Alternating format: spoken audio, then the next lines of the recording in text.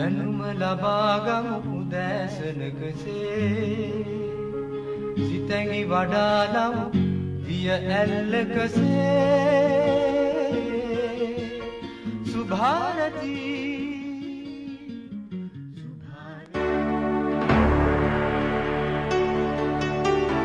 අප ඉතිහාසයේ දෙස හැරී බැලිය යුත්තේ වරද්දාගත්තැන් හඳුනාගෙන පාඩම් ඉගෙනීමට මිස ඉතිහාසේ වෙත නැවත ගමන් කිරීමට නොවේ. පිම්මට්ටමින් ජාතික සංවාදය අරඹමු. ජාතික සහජීවනය සංවාද හා රාජ්‍ය භාෂා අමාත්‍යංශය පණවිඩකි. උතුරේ වේවා දකුණේ වේවා දේශපාලන ඉලක්කයන් සපුරා ගැනීමට අවි ආයුද්ධ අතට ගැනීමට අපි ඉඩ නොදෙමු. පිම්මට්ටමින් ජාතික සංවාදය අරඹමු. ජාතික සහජීවනය සංවාද හා රාජ්‍ය භාෂා අමාත්‍යංශය පණවිඩකි. අයිබෝන් සුබෝදෑසනක් ප්‍රාථනා කරමින් අපි මේ සූදානම් වන්නේ අද සඳුදා සුභාරතී වැඩසටහන ඔබට රැගෙන එන්නට. අද අපි මාතෘකා කොටගෙන තිබෙන්නේ අලුත් ව්‍යවස්ථාවක් අවශ්‍ය වන්නේ ඇයි කියන මාතෘකාව ඔස්සේ ඔබට කරුණු ඉදිරිපත් කරන්නට. මේ පිළිබඳව කතා කරන්නට අපගේ ගෞරවනීය ආරාධනෙන් මේ මොහොත වෙන විට මැදිරියට වැඩම කොට සිටිනවා රත්විට රජමහා විහාරාධිපති ශාස්ත්‍රපති මහගල් කඩවල පස්කෝරලේ මහදිසාවේ උප ප්‍රධාන සංඝනායක මහගල් කඩවල පුණ්‍යසාර ගරු ස්වාමින් වහන්සේ තමයි අපිත් එක්ක අද සම්බන්ධ වෙලා ඉන්නේ. අපි ප්‍රථමයෙන්ම ඊ타මාත්ම ගෞරවයෙන් ආදරයෙන් හිත එකම নমස්කාර පූර්වක අපගේ නායක ස්වාමින් වහන්සේ පිළිගන්නවා ගරු ස්වාමින් වහන්සේ අවසරයි ඔබ වහන්සේට. අද මේ අපි මේ කතා කරන මාතෘකාව අලුත් ව්‍යවස්ථාවක් අවශ්‍ය වන්නේ ඇයි කියන මාතෘකාවයි රත්තිට රජමහා විහාරාධිපති එකම සත්කෝර්ලේ මහදිසාවේ උප ප්‍රධාන සංඝනායක ශාස්ත්‍රපති මහගල් කඩවල පුණ්‍යසාර නායක ස්වාමින් වහන්සේ අද අපිත් එක්ක සම්බන්ධ වෙලා ඉන්නේ.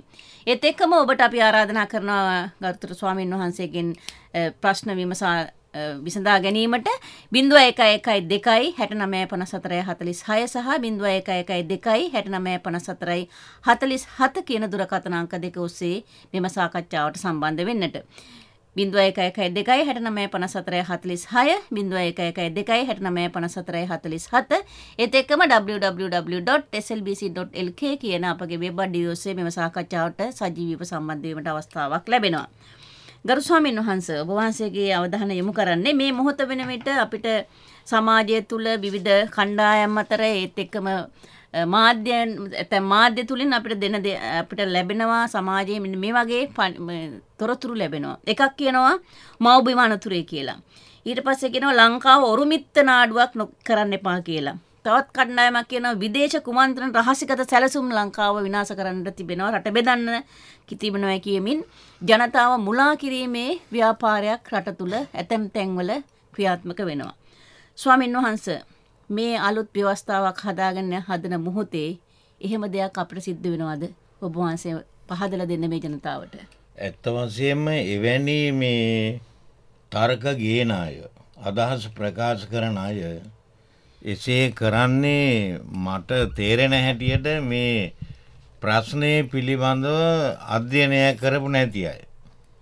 දැම් මම අවුරුත් දහයක් පහළවක් තිස්සේම මේ ශ්‍රී ලංකාව පුරාම ගිහිල්ලා අපි සිංහල දමිල මුස්ලිම ජනතාව මුණ ගැහිලා තිනවා යුද්ධ කාලි. චන්ද්‍රිකා මැතිනගේ රජය කාලේ ඊළඟට විජයතුංග ජනතුමා කාලේ ඊළඟට මහින්ද ජනතුමා කාලේ ඒවාගේ මේ වන විට. මේ ප්‍රශ්නය ඇතිවෙන්නේ ඇත්ත වශයෙන්ම මේ හතලිස් සටේ නිදහස ලබාගත්ත වෙලාවෙමයි. ඒ අවස්ථාවේ ඉඳලම එකින් එක එකින් එක එකින් එක ඉතිහාසයේ කොංකිරීන් තිබුණා මේ රට ඉසුළු ජාතීන්ට විශේෂයෙන් දමිල ජනතාවට. ඒවාගේම ඒ දමිල ජනතාවටත් මුස්ලිම් බර්ගකින ආදී සුළු ජාතීන් සඳහා නෛතික අයිතියක් ආරක්ෂා කරලා දීලා තිබුණනේ සෝල්බරි ව්‍යවස්ථා විසනවිනි වගන්තිය ඒ වගන්තිය අයින් වෙනවා. හැත්තෑ දෙකේ සිනමාව බණ්ඩාරණය ගරු මැතිනයගේ රජයේ යටතේ ඇති කළ ඇත්තෑ දෙකේ ව්‍යවස්ථාව මගි. ඒට ඉස්සර පවා දැන් පනත් සයි බණ්ඩාරනායක අගමැත්තුමය කාලි. එතුමා බලයට පත් වෙලා සිංහල පමණක් රාජ්‍ය භාෂාව කිරීම.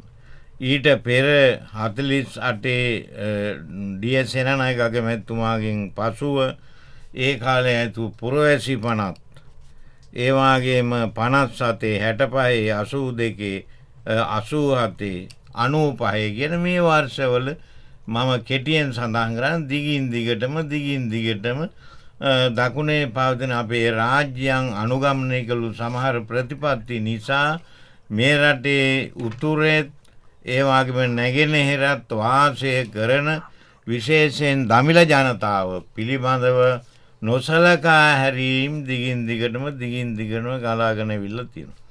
මේ අවස්ථාවේ අපි කල්පනා කොළොත් එහෙම දැන් මේ වන විට නවව්‍යවස්ථාව පිළිබඳව කතා කරන අපේ ගරුතර මහා සංඝරත්නයේ සමහර ස්වාමින් වහන්සේලා ඒවාගේම ජාති හිතයිශී කියන දේශ හිතයිශී කියන සංවිධානවල කටයුතු කරන අය නිතරම හිටියේ එක පැත්තක. ඒ පැත්ත තමයි ජාතිවාදී පැත්ත. කොංකිරීමේ පැත්ත සුළු ජාතින් කොංකිරීමේ පැත්ත. ඔවුන් නිතර උත්සාහ කලා තමන්ගේ අයිතිවාසිකන් ලබාගන්න දැන් උදාහරණයක් කරන ඇත්ත ඇ දෙකේ ජනරජ ව්‍යවස්ථාව ඇති කරලා එකදස් නවසය හැත්ත ඇ දෙකේ මැයි මාසේ. ඒකේ ජනරජ උත්සවේ තියපු වෙලාවේ ඒ මන්ත්‍රීවරු එකොළොස් දෙනාම ආවෙනෑ. ආවෙ නැත්තේ එයාලා ඒ වියවත්තා සම්පාදක මණ්ඩලයක් වශයෙන් පාර්ලිමේන්තුව රැස්වෙච්චි වෙලාවල් වල ඒ තමන්ගේ ජාතික ආරක්ෂාව සහ අයිතිවාසිකම් පිළිබඳ ඉදිරිපත් කළ කිසිම යෝජනාවක් පිළිගත්තේ නෑ ඒ වියවස්ථාවට. ඒ නිසා එය ඒ ජනරජ උත්සවය ප්‍රතික්ෂේප කලා. ඒ ගිහිල්ලා තමා එයාල එක්කාසු වෙලා අලුත් පක්ෂයක් ගොඩනගා ගත්ති. ඒවාගේම තම හැත්තෑටේ වියවස්ථාව ගෙනපු වෙලාවෙත් ඇත්ත වශයෙන්ම මේ නොසලකා හැරීමේ ප්‍රතිපත්තිය එසේම තිබුණා. සුළු ජාතීන් පිළිබඳව නොසලකා හැරීමේ ප්‍රතිපත්තිය ඔවුන් ගණන් නොගැනීමේ ප්‍රතිපත්තිය දිගටම තිබුණා. ඉතින් මේවා තමයි මේ ප්‍රශ්න ඇතිවීමට හේතුව. බොහෝ අවස්ථාවල අපිට පේනවා දේශපාල ඉතිහාසය ගත්තහම මේ ද්‍රවිඩ පක්ෂවල නායකින් උතුරු නැගරහිර නායකත්වය බොහෝ අවස්ථාවල කරුණු ඉදිරිපත් කලා සත්‍යයග්‍රහ ව්‍යාපාර කලා ඒ අවස්ථාවක මට මතකයි අමිතලිංගම් විපක්ෂනායකතුමා ලේ පෙරාගන සත්‍යයග්‍රහයේදී ගුටිකාලා ඒ බැටම් ප්‍රහාරවට ලක් වෙලා ලේ පිරාගන පාර්ලිමේන්තුවට ඇවිල්ල කතා කරපු අවස්ථා තිබුණ. ඉතින් මේක එච්චර හොඳ දෙයන්න්නේ මේ ආසියාවතන ඉතාම වැදගත් බුද්ධ ධර්මය දර්ශනය තියෙන මේ රටේ අපි මෙසේ කිරීම හොඳද කියලා අපි කල්පනා කරන්න ඕන. හොඳයි හාමුදුරනේ අපි බලමු මෙසේ කිරීම හොඳද කියන කාරණාව. ඔව් අද අපි අවධානය යොමු කළ තිබෙන්නේ අලුත් ව්‍යවස්ථාවක් අවශ්‍ය වන්නේ ඇයි කියන කාරණාව ඔස්සේ කරුණු ඉදිරිපත් කරන්නට මේ පිළිබඳව කතා කරන්නට අපගේ ගෞරවනීය ආරාධනය මේ මොහොත වෙනකොට අප මැදිරියට වැඩම කොට සිටිනවා රත්ති රාජ මහා විහාර අධිපති සත්කෝරළේ මහා දිසාවේ උප ප්‍රධාන සංඝනායක ශාස්ත්‍රපති පූජ්‍ය මහගල් කඩවල පුණ්‍යසාර නායක ස්වාමින් වහන්සේ සමග දේශපාලන විද්‍යාව පිළිබඳ කතිකාචාර්ය රුහුණ විශ්වවිද්‍යාලයේ සුමුදු වලාකුළුගේ මහත්මයා ඇවිල්ලා තිබුණා. එතුමා දැන් පැමිණ මැදිරියට පැමිණියා. ඔබතුමාත් ඉතාමත් ගෞරවයෙන් ආදරෙන් පිළිගන්නවා ආයිබුවන් කියලා. සුමුදු වලාකුළුගේ මහත්මයානේ ඔබතුමාගේ අවධානය යොමු කරන්නේ මම දැන් ස්වාමින් වහන්සේගෙන් ඇහුවේ මේ නව ව්‍යවස්ථාවක් අවශ්‍ය වන්නේ ඇයි කියන කාරණාවත් එක්ක. රටේ මේ මොහොත වන විට පැන නැගිලා තියෙනවා ඇතැම් තැන්වල ඇතැම් පිරිස් විශේෂයෙන්ම ඒකාබද්ධ විපක්ෂයේ ඇතැම් පිරිස් මේ නගන චෝදනාවල් පිළිබඳව උරුමිත්‍ර නාඩුවක් කරන්න යනවා මව්බිම අනතුරේ විදේශ කුමන්ත්‍රණ තියෙනවා රට බෙදන්න යනවා කියන මේ කාරණාවල් කියනවා. අවුරුදු ගානත් තිස්ස කිව්වා මේ විවස්ථාව බහපූත විවස්ථාවක් මේ විවස්ථාව නිසා රට විනාශ වෙනවා මේ විවස්ථාව නිසා අපේ සමාජය දේශපාලනය සම්පූර්ණ විකෘති වෙනවා කියලා හැම දේශපාලන හැම ඡන්දයකදීම මේ විවස්ථාව පිළිබඳ විවිධ විවේචන ඉතාම දැඩි නිර්දය විවේචන වේදිකාවල කතා වුණා හැමදාම කෝ ව්‍යවස්ථාව වෙනස් කරන්න ඕන කියලා. හැබැයි ව්‍යවස්ථාව වෙනස් කරන්න එනකොට මෙන්න මේ වගේ කාරණා තියෙනවා. ඇත්තටම අපිට ව්‍යවස්ථාව වෙනස් කරගන්න ඕනද? ඔබතුමාගේ මං අහන්නේ. ඔව්. සුබෝදෑසනක් සියලු දෙනාට. අ, අපේ ස්වාමින් වහන්සේ හොඳ ප්‍රවේශයක් ගත්තා අ, ව්‍යවස්ථාව පිළිබඳව. අ, මම කැමති ඒ ප්‍රවේශයටම ඌනපූරණයක් වශයෙන් කරුණු කීපයක් එකතු කරමින් ඔබේ ගැටලුවට පිළිතුරු සපයන්න. අ, ආණ්ඩු ක්‍රම ව්‍යවස්ථාවක් අවශ්‍යද කියන ගැටලුව ගැන අපි කතා කරොත් දැන් ඔබගේ ප්‍රවේශයෙන්ම මම මේ සඳහා අවතීර්ණ වුණොත් අ, විවිධ මතාන්තර මේ අවස්ථාවේදී අලුත් ආණ්ඩු ක්‍රම ව්‍යවස්ථාව නැත්තම් මේ යෝජිත ආණ්ඩු ක්‍රම ව්‍යවස්ථාව සම්බන්ධ යෝජනාවලිය. මේක තවම කෙටුම්පත් අවස්ථාවවත් පවතින්නේ නැහැ. දැන් සංවාදයට විවෘත යෝජනාවලියක් වශයෙන් තමයි මේක පවතින්නේ. ඉතින් මේ යෝජනාවලිය පිළිබඳව ගොඩනැගී ඇති සමාජ කතිකාවන් සහ මතාන්තර ගැන සලකලා බලනකොට මේ වෙලාවේ ප්‍රබලව මතුවෙන අදහසක් තමයි මේ වෙලාවේ ආණ්ඩු ක්‍රම ව්‍යවස්ථාව පිළිබඳ ප්‍රතිසංස්කරණයක් අවශ්‍ය නැහැ රටට ඊට වඩා ප්‍රමුඛතාව දී යුතු ගැටලු පද්ධතියක් තියෙනවා ඒක හින්දා ආණ්ඩු ක්‍රම ව්‍යවස්ථාව කියන එක අනවශ්‍ය හදිස්සියකින් ඉදිරිපත් කරන යෝජනාවලියක් කියලා. දැන් අ, මට කියන්න තියෙන පළවෙනි කාරණය තමයි ආණ්ඩු ක්‍රම ව්‍යවස්ථාවක් ප්‍රතිසංස්කරණය කරන්න හෝ නව ආණ්ඩු ක්‍රම ව්‍යවස්ථාවක් නිර්මාණය කිරීමේ කටයුත්ත කිසිසේත්ම පවතින සුළුසුළු ගැටලු සඳහා විසඳුම් ඉදිරිපත් කිරීමේ අභිලාෂයෙන් ගොඩනැගිය යුත්තක් නෙමෙයි. එහෙමනම් කරන්න ඕනේ කැබිනට් පත්‍රිකා ඉදිරිපත් කරලා ප්‍රතිපත්තිමය නිර්මාණයන් කරනවා මිසක් ආණ්ඩු ක්‍රම ව්‍යවස්ථාව වගේ පුළුල් ප්‍රතිසංස්කරණයකට යෑම නෙමෙයි. ඒ රටේ රටේ තියෙන සුළු ප්‍රශ්න පිළිබඳව ඔබ කියන්නේ. ඔව් සුළු ප්‍රශ්න පිළිබඳව. ඉතින් අලුත් ආණ්ඩු ක්‍රම ව්‍යවස්ථාවක අවශ්‍යතාව පිළිබඳව චෝදනා මුඛයෙන් කතා කරන අයට දෙන්න පුළුවන් උත්තරේ තමයි ආණ්ඩු ක්‍රම ව්‍යවස්ථාවක් නිර්මාණය කරනවා කියන්නේ ඊටාම පුළුල් සමාජ ප්‍රතිසංස්කරණයක් කරා අපි අවතීර්ණ වෙනවා කියන එක. ඉතින් ඒක හින්දා ඒක මේ අද පවතින අ, වෙළඳ පොලේ මිල පිළිබඳව ගැටලුවත් සාමාන්‍යයෙන් ජීවන තත්ත්වය පිළිබඳව ගැටලුවත් සයිටම් පිළිබඳව ගැටලුවත් මේ වගේ ප්‍රායෝගික සුළුසුළු ගැටලු එල්ල කරලා ඒ වගේ ඒ වගේ තැන්වලට ඌන ඌනනය කරලා කතා කරන්න පුළුවන් දෙයක් නෙමේ. දැන් ඔබ හිතනවාද ඔය දන්නේ නැතුව අයද අයයි කියලා මේව ඉදිරිපත් කරන්නේ මේ වගේ තර්ක. නෑ ඕනම වෙලාවක මං හිතන්නේ සමාජයේ ගොඩනැගෙන මතිමතාන්තර සාමාන්‍ය ජනතාව තමන්ගේ නිර්වද්‍ය දෘෂ්ටියෙන් ඉදිරිපත් කරන මතාන්තර නෙමෙයි. ඔවුන්ට කිසියම් මත නිර්මාණය කරන්නන් පිරිසක් ඉන්නවා. ඔවුන්නේ මත නිර්මාණය කරන පිණිස පිරිස පවසන්නේ මොකක්ද ඒක අපි අනුකරණය කරන්න පුරුදු වෙලා තියෙනවා. ඒක තමයි සමාජ මතය ගොඩනැගෙන ආකාරය. ඉතින් ඒක හින්දම මේ වෙලාවේ ඔය සමාජ මතය නිර්මාණය කරන පිරිස් කිසියම් දුරකට දේශපාලන ව්‍යාපෘතියක තමයි නිරත වෙලා ඉන්නේ. ඔවුන් මේ තමන් දීර්ඝකාලීනව ඉදිරිපත් කරපු දේශපාලන යෝජනාවලිය ඒ යෝජනාවලිය ඔබ කිව්ව එක්තරා දුරකට ඔවුන් ආණ්ඩුක්‍රම ව්‍යවස්ථාවට විරුද්ධව හිටියා කියලා. දැන් ඔවුන්ට වෙනම දේශපාලන ව්‍යාපෘතියක් තියෙන්නේ. ඒකින්ද ඒ දේශපාලන ව්‍යාපෘතිය අනුගමනය කරමින් ඔවුන් දැන් මේ වටිනා අවස්ථාවට විරුද්ධව මත ප්‍රකාශ කරමින් සිටිනවා. ඔව්, හත පසේ විනාඩි 16 ඔබ මේක සිටින්නේ සඳුදා සුභාරතී වැඩසටහන සමග. සිංහල දමිල මුස්ලිම් බර්ග මැලේ වැදි ජනතාව සහජීවනින් ජීවත්වෙන රටකි ශ්‍රී ලංකාව මේ විචිත්‍රත්වය තුළ පවත්නා සුන්දර වර්ණවත් බව අපේ ශක්තිය ලෙස අවබෝධ කරගනිමු. බිම්මට්ටමින් ජාතික සංවාදය අරඹමු. ජාතික සහජීවනය සංවාද හා රාජ්‍ය භාෂා අමාත්‍යංශය පණවිඩකි. හදවත් නොබෙදමු රට නොබෙදමු දේශය ගොඩනගමු පිම්මට්ටමින් ජාතික සංවාදය අරඹමු ජාතික සහජීවනය සංවාද හා රාජ්‍ය භාෂා අමාත්‍යංශය පණවිඩකි. අද අපි අවධානය යොමු කළ තිබෙන්නේ අලුත් ව්‍යවස්ථාවක් අවශ්‍ය වන්නේ ඇයි කියන කාරණාව ඔස්සේ කරුණු ඉදිරිපත් කරන්නට. අපිත් එක්ක මේ මේ පිළිබඳව කතා කරන්නට. මේ මොහොත මිනිකට මැදිරියේ සි- වැඩම කොට සිටිනවා රත්තිර රජමහා විහාරාධිපති සත් සත්කෝර්ණ මහදිසාවේ උප ප්‍රධාන සංඝනායක ශාස්ත්‍රපති මහගල් කඩවල පුණ්‍යසාර ගරු නායක ස්වාමින් වහන්සේ සමග අ, රුහුණු විශ්වවිද්‍යාලයේ දේශපාලන විද්‍යාව පිළිබඳව කතිකාචාර්ය සුමුදු වලාකුළුගේ මහත්මයා. අපි නැවතත් ගරු ස්වාමින් වහන්සේගේ අවධානය යොමු කරනවා. ගරු ස්වාමින් වහන්සේ අපගේ අ, සුමුදු වලාකුළුගේ දේශපාලන විද්‍යාව පිළිබඳ කතිකාචාර්යතුමා සඳහන් කරා සමාජයේ විවිධ ප්‍රශ්න අ, සරල ප්‍රශ්න ඉස්මතු කරගනිමින් මෙම ආණ්ඩුක්‍රම ව්‍යවස්ථාවේ කියන ඉතා වැදගත් වූ කාරණය යටපත් කිරීමට ඇතැම් පිරිස උත්සාහ ගන්නවා කියන කාරණය.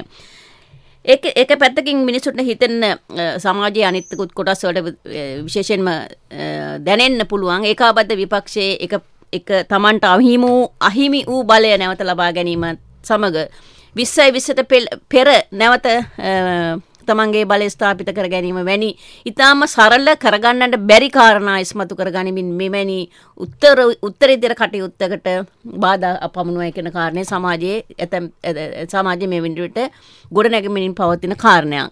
ඉතින් මෙවැනි පටු දේශපාන්න අරමුණු කරායෑමේදී රටක් හැටියට රටකට මුහුණ දෙන්න වෙන බරපතල ප්‍රශ්නවට පිළිතුරු සපයා ගැනීම රටේ මූලික නීතිය වෙනස් කර ගැනීමට තිබෙන අවස්ථාව ගිලිහි ගිය හොත් එක ඒ ඇති වෙන පාඩුව පිළිබඳව කොහොමද බහන්සේ විග්‍රහ කරන්න සමාජය දැන් ඇත්තවත්සේම දැන් ඉස්සරලා මේ මිතුමා මහාචාරිතුමා කතිකාචාර්තුමා කතිකාචාරිතුමා උත්තර දුණු ප්‍රශ්නය මන් අඩුවක් තියෙනවා කියන්න ඒ උනපූරණයක් ඇත්ත වශයෙන් මේ රටේ උපදින දැනුගත් හැමෝම ප්‍රශ්නය බොහෝ විට දන්නවා.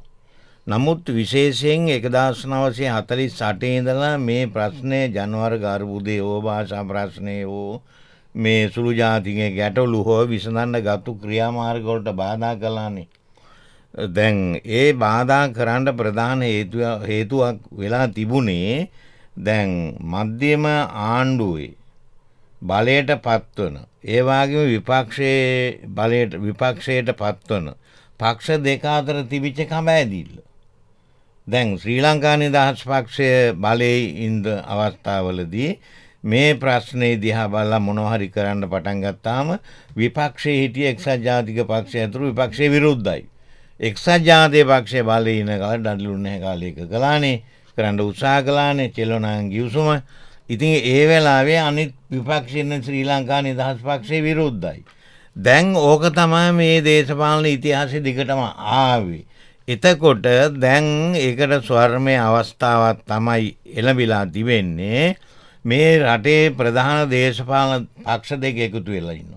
ඒවාගේම ජනාධිපති වරණයේදී ශ්‍රීමත් ජනපතුමා ප්‍රකාශ කලා කෙලින්ම සෝභිත හාමුදුරුව ප්‍රකාශ කලා උන්වහන්සේ සංවිධානය යටතේ මේ රටේ මේ අරගල විසඳල සාධාරණ සමාජයක් විහිකිරීම සඳහා නව වියවස්ථාවක් ගේනවා. ඒවාගේම තියෙන විදාහක ජනාධිපති ක්‍රමය අහෝසි කරන්න ඕනේ. මේකෙන් අයිතු ප්‍රයෝජන ගත්ත අය ඉන්නවා හිටිය.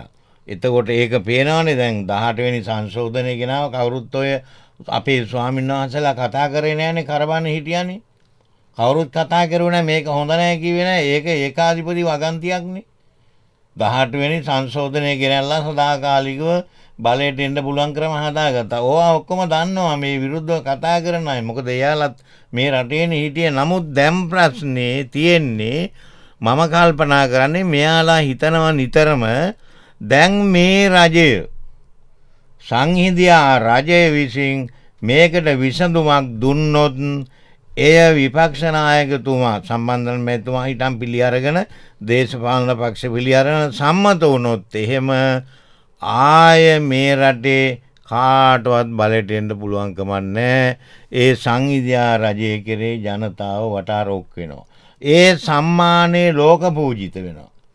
ලංකාය පමණ නෙමේ විශ්වය සම්මානයක් එනවා.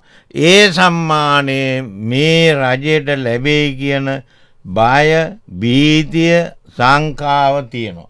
එනිසා තම මේ නව ව්‍යවස්ථාවේ අවශ්‍යතාවය හොඳට පෙනිපිණී තියෙද්දෙත් රට නොබෙදා බලය බිදීමේ ව්‍යාපාරයක් මේකේ තියෙන්නේ කියලා මේ කෙටුම් පත් කරපු දේවාලවල මේ කමිටු වාර්තාව ආණ්ඩුකරන ව්‍යවත්තා ප්‍රසංස්කරණය පිළිබඳ මහජන අදහස්වම සමු කමිටුවේ අපේ නීතිඥ ජයම්පති වික්‍රමරත්න මැතිතුමා ඒවාගේම ලාල් විජයනායක මැතිතුමා මේ යෝජනා කරලා තියෙන වගේ කිසිම මටනම් පේන නෑ අකට උත්තා සිද්ධලට. සියලු දෙනාගේම සිංහල දමිල මුස්ලිම් අය පමණක් වනේ මේ රටයන වැදි ජනතාව. ජාතින් දහ නමයක් ඉන්න දහ නමයක් ඉන්නවා. එතන බර්ග සිංහල දමිල මුස්ලිම් ඒවාගේම ආබාධිතාය ඒවාගේම වෙන සමාජයෙන් කොං වෙලා ඉන්න සමාජ කොටක්ස්වල ඉන්න හැම දෙනාටම යුක්තිය සාධාන නිෂ්ට වෙන යෝජනා මේකේ තියෙන්නේ එතකොට අන්න ඒකයි මේ සම්මානය මේ රජයට ලැබෙනවට කමිති නෑ.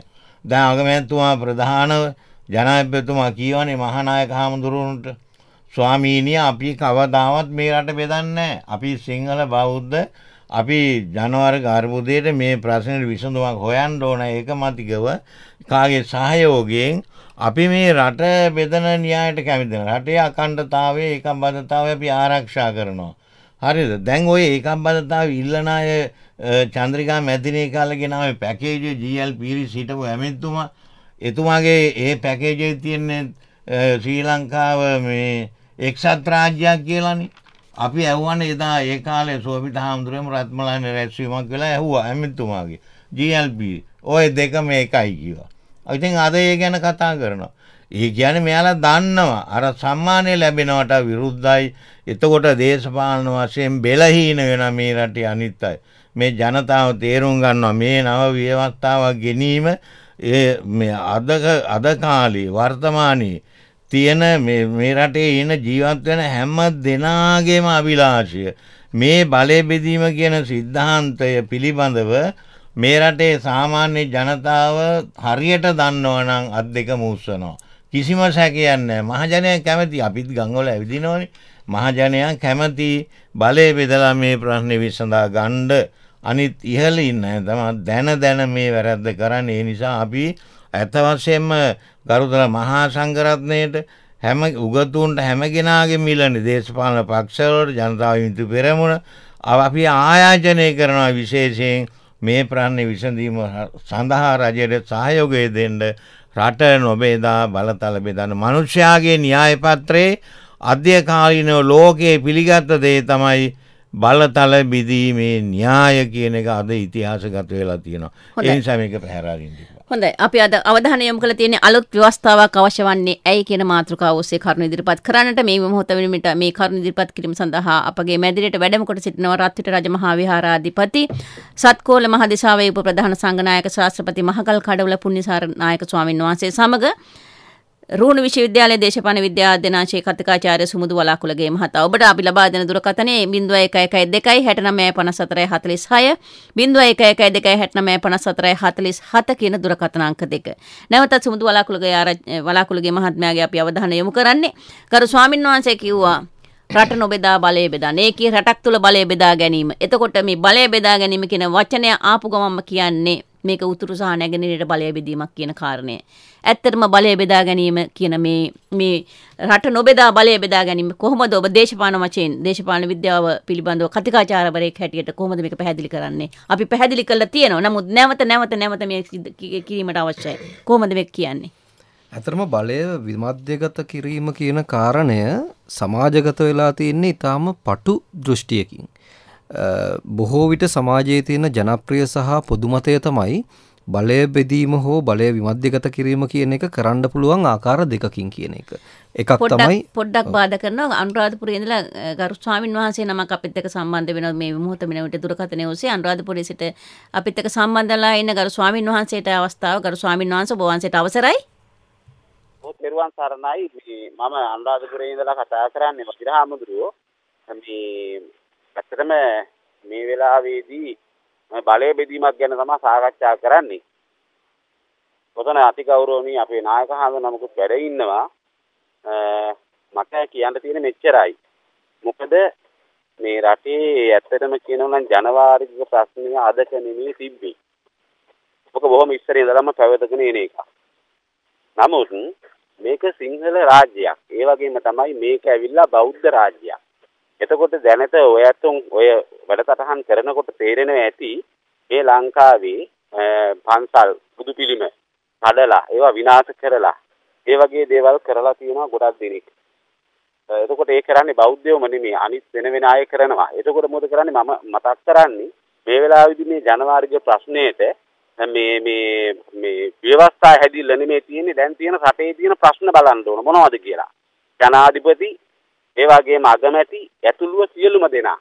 මේ රටේ තියෙන ප්‍රශ්න බලලා ඉවිලා ඒ අහිංසක මිනිස්සුන්ගේ තියෙන මේ දුක් ගින්න දැන් මේ කන්න හතරකින් කුඹුරු පැහිලා නැහැ ඈ? ඔයන් කුඹුරු වැඩ කරගන්න නැහැ. ඕවනේ ප්‍රශ්න. ඒ යනකොට මොකද? රට බෙදලා ඉවිදලා එහෙම නැත්නම් මේ විවස්ථා හදා හදා ඕක තමයි 365 දවසම කළේ විවස්ථා හැදිල්ල. මොකද්ද උනේ රටට? මරා හොඳයි. හොඳයි හාමුදුරනේ. ඔබ වහන්සේගේ ප්‍රශ්නය පැහැදිලි. ගරු ස්වාමින් වහන්සේත් උත්තරයක් ලබා දෙයි. මම හිතනවා අපේගේ දේශපාලන විද්‍යාව පිළිබඳ කතිකාචාර්යතුමා සඳහන් කළා. සරල කාරණා පිළිබඳව තමයි සමාජයේ කතිකාවත ගොඩනගෙන කියලා ඔබ වහන්සේ මුලින්දලා මෙම සාකච්ඡාවට සවන් දීගෙන හිටියා නම් ඔබ වහන්සේට ඒ කරුණු පැහැදිලි වෙයි. නමුත් නැවතත් මම හිතනවා සුමුදු වලාකුළගේ මහත්මයා ඔබ ඔබ මේ පිළිබඳව කෙටියෙන් කරුණු ඉදිරිපත් කරන ගරු ස්වාමින් වහන්සේ සූදානම් ඊ- ඊට පිළිතුරු ලබා දෙන්න අනිත් කරුණු වලට. ඔව ඇත්තටම මම අර කලින් සඳහන් කරපු කාරණයම තමයි මේ ප්‍රශ්න විදිහට ඉස්මතු වෙන්නේ ඒ කියන්නේ ඊටාම මේවා සුළු කාරණා නෙමෙයි මේවා ජනතාවගේ ජීවන ක්‍රමයත් එක්ක බද්ධ වෙච්ච කාරණා. නමුත් ගැටලුව තියෙන්නේ අපි මේක අඳුනගන්න විදිහේ බරපතල අර්බුදයක් තියෙනවා. ඒ තමයි ආණ්ඩු ක්‍රම ව්‍යවස්ථාවක් කියලා කියන්නේ මම අර කලින් කිව්වා වගේ පුළුල් සමාජ ප්‍රතිසංස්කරණයට ඉඩ සලසන දෙයක්. ඒ සමාජ ප්‍රතිසංස්කරණයක් නැති තැන තමයි ජනවාර්ග අර්බුද එහෙම නැත්නම් අනිකුත් සමාජ අර්බුද සියලු දේවල් ඇති වෙන්නේ. ඉතින් අපි දැන් රජයේ ඒකායන ආ- පරමාර්ථය හෝ එකම කරමින් ඉන්න එකම වැඩේ මේ ආණ්ඩු ක්‍රම ව්‍යවස්ථාව කියලා සලකන එක ඊටාම මේ මං හිතන්නේ මේ මිනිස්සු නොමග යැවීමේ අදහසක්. රජය අනිකුත් කාර්යයන් ඉටු- ඉටු කරමින් ඉන්නවා. නමුත් ආණ්ඩු ක්‍රම ව්‍යවස්ථාව කියන එකත් ප්‍රමුඛතාව දිය යුතු එක කාරණයක්. ඉතින් ඒකින්ද මම හිතන්නේ නැහැ අ, කුඹුරු පැසිල නෑයි කියලා වතුර නෑයි කියලා අ, ප්‍රමුඛතාව දී යුතු කාරණා මගහරින්න අවශ්‍යයි කියලා. එහෙම කරොත් වෙන්නේ අපි නැවතත් දශක කීපයක් සමාජයේ අපසට ගමන් කිරීම විතරයි. ඔය කුඹුරු පැසින්න නැති එකවත් වතුර නැති වෙන එකවත් ආණ්ඩු ක්‍රම ව්‍යවස්ථාවක් මගින් විසඳන්න බෑ. හැබැයි ආණ්ඩු ක්‍රම ව්‍යවස්ථාවක් විසින් විසඳිය යුතු බරපතල සංකීර්ණ කාරණා තියෙනවා. ඒ කාරණා කන්නයකටවත් මාස කීපයකටවත් සීමා කරන්න බෑ. ඒවා සමස්ත අනාගතයම මුළු රටේ අනාගතයත් එක්කම බද්ධ වෙච්ච කාරණා. ඉතින් ඒකින්ද මම හිතන්නේ නැවතත් මම අවධාරණය කරන්නේ සුළු කාරණා සඳහා ඌණ පූර්ණය කළ යුතු කාරණයක් නෙමෙයි මේක. ඊටාම පුළුල් වශයෙන් සංවාදයට භාජනය කළ යුතු කාරණයක් කියලා. ස්වාමින් වහන්සේ මොකද කි- උන්වහන්සේ පැහැදිලි කර උන්වහන්සේ පෙන්වා දෙන්නට උත්සාහ කරයි උන්වහන්සේ පෙන්වා දුන්නා අ, බෙහෙර විහාර ආගමික සිද්ධස්ථාන විනාශ වෙනවා. රටේ ගොවියන්ට ඊට පස්සේ වෙනත් රටේ ප්‍රධාන ප්‍රශ්න තියෙනවා. ඒ ප්‍රශ්න තියෙද්දි මොකටද මේ ආණ්ඩුක්‍රම ව්‍යවස්ථාව? දැන් ඔය වෙහෙර විහාර මේ විහාරස්ථාන බුදු පිළිම කඩන අය අතර වැඩි දෙනෙක් ඉන්නේ බෞද්ධ සිංහල බෞද්ධයෝ. ඇයි කොහොමද වහන්සේ එහෙම කියන්නේ? ඔක්කොම නෙමෙයි මම කියන්නේ සිරගත වෙලා ඉන්නවා අදට නඩු තියෙන උවසාවිවල. ඊළඟට ඒ විතරක් නෙමෙයි භික්ෂුන් වහන්සේලාත් මේවට සම්බන්ධයි. ඔය චීවරධාරීන් කියලා පත්තරවල පහුගිය කාලේ ගියේ අද රිමන් වල ඉන්නවා. රිමන් වෙලා ඉන්නවා උසාවිවල නඩු තියෙනවා නිදන් ගන්න ඒවට මේ සම්බන්ධ වෙලා විහාරස්ථානවල. ඉතින් ඒ නිසා මේක එක්කෙනෙකුට කියන්න දෙයක් නැහැ. මං හිතන හැටියට අපේ ස්වාමින් වහන්සේ කතා කළේ මේ බොහෝම වෙරදර්මින් හදවතින් වෛරීව ජාතිවාදීව තමයි කතා කර කියලා මට නිකං ඇඟුණා. නමුත් මේ රජය කරන අනිත් වැඩ අතර තමා මේ කරන්නේ. ඉතින් වහින්නෑ කියලා ආණ්ඩුවට වස්වන්ඩ පුළුවන්ද. අනාත ආධාර දෙනවන දැන් ආණ්ඩුව හැමතැනම දෙනවා මේ මේ අ, අසන්න වෙච්චි කුඹුරු පැහිච්චන තැන වන්දිගවන ඒවා ඔක්කොම කරන මේ මේ තියත්තින් ව්‍යවස්ථාවක් ගේන්නේ ස්වාමින් වහන්ස පහුගිය කාලේ අවුරුදු තිහක් යුද්ධයක් තිබ්බා. යුද්ධයේ තිබුණා යුද්ධෙන් විනාශ වුණා. ඉතින් මේ ප්‍රශ්නය සදාකාලිකව විසඳනව නම් තමයි අපිට අනාගතයක් තියෙන. නැත්තං ආයෙත් කවදාහරි අවියාවුද අතට අරගෙන එනවා මයි ඒක වලක්කන්න පුළුවන්කමක් නැහැ. ඒ නිසා තමයි නව ව්‍යවස්ථාවක් ගේන්ඩ ඕනෑ කියන පොරොන්දුව දීලා ජනතාවගේ චන්දය ලබා ගත්තේ හැට දෙලක්ෂයක් ජනාපතුමාට චන්දය දීලා දෙනවා මේ රජයට. එතකොට එයාලට පොරොන්දු වෙලා තියෙනවා සෝවිත හාමුදුරුවතම මේ ආණ්ඩුව පිහිටුවන්න මූලික කටයුතු කළේ සිවල් සිවිල් සංවිධාන ඒකරාශි කරගෙන ඒ හාමුදුරුව ප්‍රකාශ කළ හාමුදුරුවන්ගේ ආදහන් උත්සවේ ජනපතුමා ප්‍රකාශ කලා. එතකොට දැන් ඔබවහන්සලා හිතන ඇති මේක මේ රට බේදන එකක් කොහෙද බෙදන්න ඔය කවුරුවත් යන්නේ නෑ මේ මේ රටෙන් කෑල්ලක් කඩාගෙන යන්ට දිහාවක් ඇත්තෙත් නෑ. ඒක පට්ටපල් බොරුවක් ඔය ජාතිවාදීයයි ප්‍රකාශ කරන රට බෙදාගෙන යනවන මෙලාට යන්ඩ තිබුණා. එහෙම රට බෙදන්ට බෑ. මේ දකුණෙත් තිනවන දෙමලයි දකුණෙත් තින මුස්ලිංයි සියලු ව්‍යාපාරික ඉන්න මේ එයාලා යාපනය යන්න ඕන එන්න ඕන. මේ නිෂ්පාදන මේ සංවර්ධන දේවල් යාපනයට යනුන මෙහාට එන්න ඕන. ඒවා මෙහාට එන්න ආර්ථික වශයෙන්. ඕක බොරු දෙයක් ඔය විශ්වාසයක්. මධ්‍යස්ථව කරුණාව මෛත්‍රය දයාව අනුකම්පාව කියන ලක්ෂණ තමන්ගේ හදවතේ ඇති කරන කටයුතු කරන්න අපි භික්ෂුන් වහන්සලා වශයෙන් දැනගන්න ඕන ඉගෙන ගන්න ඕන. අපි මේ කතා කලාට වියවත්තාව ගැන අපිත් මේ රට්ට ආදරේ. සමහරා හිතන්නේ ජාතිවාදීත්වයේ කරේ තියාගත්තා. ඒ අයට විතරයි මේ රට ගැන කැක්කුමක් තියෙන්නේ. ජාතිය ගැන ජාත්‍යාලයක් තියෙන්නේ. අපිටත් තියෙනවා. අපිත් මේ රටේ උපන් අය බෞද්ධ භික්ෂූන් වහන්සේලා ආගම ගැන සංස්කෘතිය ගැන අපිටත් දෙනවා අනිත් ඔය ජාතිවාදීන් කතා කරන අයට විතරක් නෙමෙයි. දැන් මේ රටේ තියෙන සංවිධාන බැලුවොත් එහෙම ආගම ධර්මයේ මුල් කරගෙන පිළිහිටුව මොනවාද මේ ආගමට කරලා තියෙන්නේ? මං කියනවා ඕන තැනක ඔය අර සංවිධානයේ මේ සංවිධානයේ තියෙනවනේ කොළඹ පළාත්වල පිහිටුවාගෙන දේශපාලන න්‍යාය පත්‍රය එයාට තියෙන්නේ. මොකද්ද බෞද්ධ වෙනුවෙන් කෙරුවේ? මොන දියුණුවද කළේ? මොන සංවර්ධනයේද? මොන ක්‍රියාදාමයේද කළේ? මේ රටේ ආර්ථික නංවන්න බෞද්ධයාගේ මේ වැඩපිළිවෙල නංවන්න බෞද්ධ ප්‍රතිපත්ති ක්‍රියාත්මක කරන්න රජයෙන් ඒවා ඉටු කරගන්න මොනවද කළේ? මං නම් වශයෙන් කියන්න මේ වෙලාවේ කැමති නෑ. නමුත් මට කියන්න පුළුවන්කම තියෙනවා. මොනවද ඒ කළේ කරේ නෑ. දේශපාලන න්‍යාය පත්‍රයක් තියෙන්නේ අනිත් එක තමයි ඔය ජාතිවාදී කියන එක මානසික රෝගයක්. අධිකාරන්තුමාගේ පොත්පත් කියවුවොත් අපිට පැහැදිලි වෙනවා ජාතිවාදය ආගම්වාදය කියන එක මානසික රෝගයක්. පිස්සෙන්ගේ වැඩක්. දැන් මේක ලංකා රාජ්‍ය බෞද්ධ රාජ්‍යලු. ඇයි ඉන්දියාව ඇයි තායිලන්තේ ඇයි චීනයේ රුසියාව ඒවා තායිලන්තෙත් බෞද්ධ රටන් බුරුමය කොච්චර බෞද්ධ රටන් අපේ විතරද බෞද්ධ රාජ්‍යය තියන්නේ. ඕවා ඔය ජාති ආගම නිමිති කරගෙන පෙරට දාගෙන මේ රටේ බලය ලබා ගන්න කටයුතු කරපු අය න්‍යාය ධර්ම ඒකයි මේ ඕකේ අදහස ඒකයි. නැත්නම් අපි අපි බෞද්ධ යං වැඩිපුර ඉන්න රටක් තමයි අපි ඒක පිළිගන්නවා. තායිලන්තෙත් ඉන්න ඕනේ. බුරුමෙත් ඉන්නවනේ. බුරුමේ අය ගියයි එයාගේ අපේ රට මේ බෞද්ධ රාජ්‍ය. තායිලන්තය ගියා අපේ රට බෞද්ධ රාජ්‍ය. ඒතෝ රාජ්‍යයන් ගොඩක්නේ. ඔය රාජ්‍යයේ සංකල්පයේ බුදුහාඳුරන්ට අදාළ නැහැ. බුදුරජාණන් වහන්සේ කළේ මොකද්ද? ඒ සියල්ල අත්හැරියා. ජාතිවාදේ ජාතියක් නෑ. ජාති තද්දෝ ධනත් තද්දෝ ගොත්තත් තද්දෝ ජීවනරු.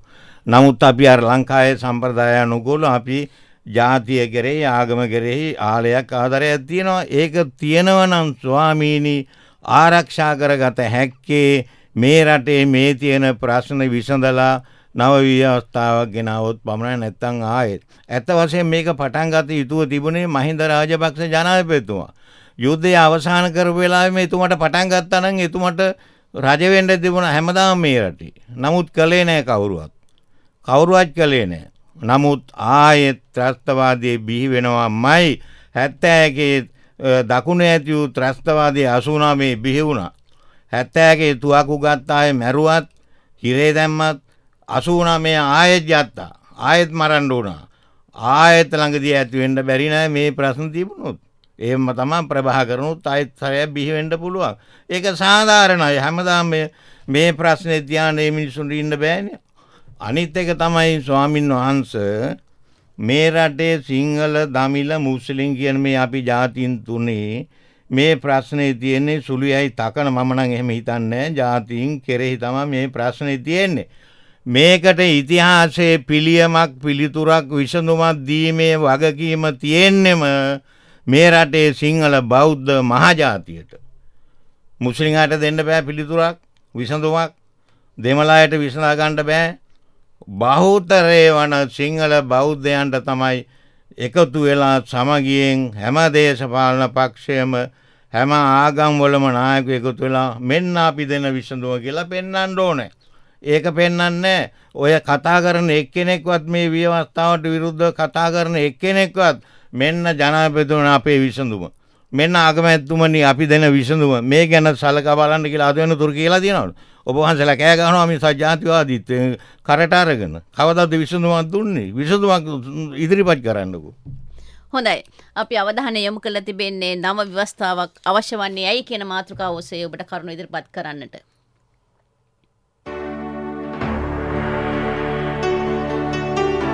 අප ඉතිහාසයේ දෙස හැරී බැලිය යුත්තේ වරද්දාගත් තැන් හඳුනාගෙන පාඩම් ඉගෙනීමට මිස ඉතිහාසය වෙත නැවත ගමන් කිරීමට නොවේ.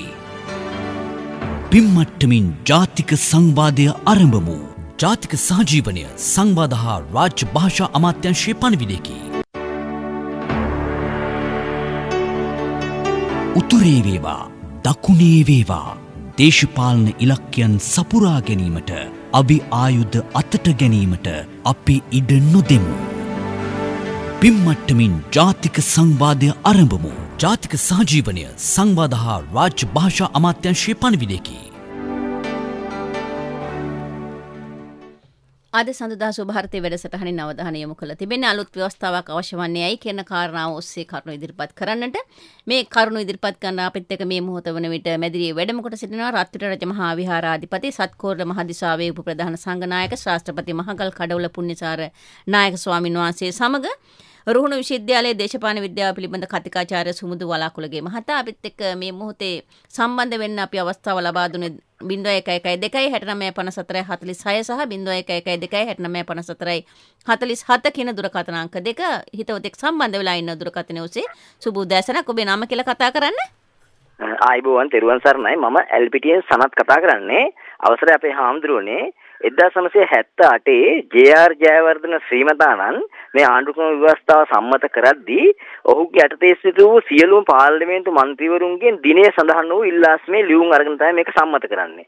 එතෙන් සිට මේ කරන ලද සියලු සංශෝධන අපිට නංගි පෙන්නලා ආච්චි අම්ම දුන්නා වගේ. අපිට කියන්නේ එක දෙයක් කෙරෙන්නේ තව දෙයක්. ඒතර අසුරු කමුටු වාර්තා මට පේන්නේ මුට්ටිය දාලා බැලීමක් වගේ දෙයක්. ඒ පළවෙනි ප්‍රශ්නේ අපේ හාමුදුරනේ. දෙවෙනි ප්‍රශ්නේ තමයි යාපනයේ ඉන්න දෙමළ මිනිස්සුන්ටත් වැල්ලවත් ඉන්න දෙමළ මිනිස්සුන්ටත් තියෙන එකම ප්‍රශ්න අපේ හාමුදුරනේ. දෙමළ දේශපාලන නායකයන් විසින් ඒ මිනිස්සු රවට්ටනවා. සිංහල දේශපාලන නායකයන් විසින් සිංහල මිනිස්සුන්ව රවට්ටනවා. උදාහරණයක් විදිහට මුලින්ම අවිගත් තරුණ කණ්ඩායම් ඝාතනය කරන්නේ දොරේ අප්පව. ඒ කියන්නේ ඔවුන්ගේ දේශපාලන නායකයන් තමයි ඔවුන් ඝාතනය කරන්න පටන් ගන්නෙ. ඒ කියන්නේ ඔවුන්ව රවට්ටනවා කියලා ඔවුන්ට තේරෙන නිසා. මෙන්න මේ ප්‍රශ්න දෙක උත්තර බලාපොරොත්තු වෙනවා අපේ හැමදෙරේ තෙරුවන් සරණයි. ඔව් දකුණෙත් ඒ වගේම තමයි සිද්ධ වුනේ. අවිගත් තරුණයන් ඝාතනය කරේ අපේ රටේ මිනිස්සු. දැන් දකුණේ ත්‍රස්තවාදය ඇති වුණා කියලා මම ප්‍රකාශ කරලා ඉස්සර වෙලත් මම ප්‍රකාශයට පත් කරා. දැන් හැත්තෑගේ කැරැල්ල ඇති වුණේ ඇයි? ඒක නැවැත්තුවා මර්ධනය කළා. ඊළඟට 89 ඇති වුණේ ඇයි? ඒ ඇති වුණේ මේ රටේ දකුණේ හිටිය තරුණයන්ගේ ප්‍රශ්න විසඳුනේ නැති නිසා. ඔවුන්ට රැකී ආරක්ෂා සැපීම අඩු වුණා. උගත් තරුණයන් අතරමං වුණා. ඔවුන්ට යන එන මන් නැති වුණා.